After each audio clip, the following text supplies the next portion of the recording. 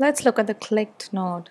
We've added a send email node here and we want to know when customers click on a link in the email. So we open the clicked node. We provide a wait time. What this field means is that the campaign waits for this particular duration for the customer to open the email and click on a link. Say, for example, we provide two days here. The campaign will wait for two days after your contact opens his email for him to click on a link. You save it and drag it into position. Note that this node has two outputs, a yes and a no path. If your contact does click on the link, the yes path is taken immediately and not after two days.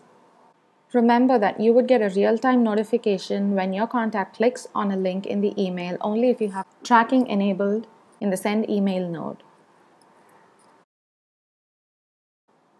Let's explore the opened node. This node checks if the contact has opened the email that you've sent. Let's provide a duration here. I'm going to say 10 hours.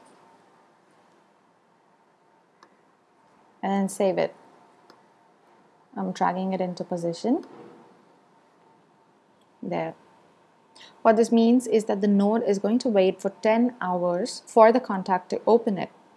Now, once the contact opens it, irrespective of when he opens it, provided it's within the 10 hours, the yes path is taken. If the contact doesn't open the email for 10 hours, the no path is taken.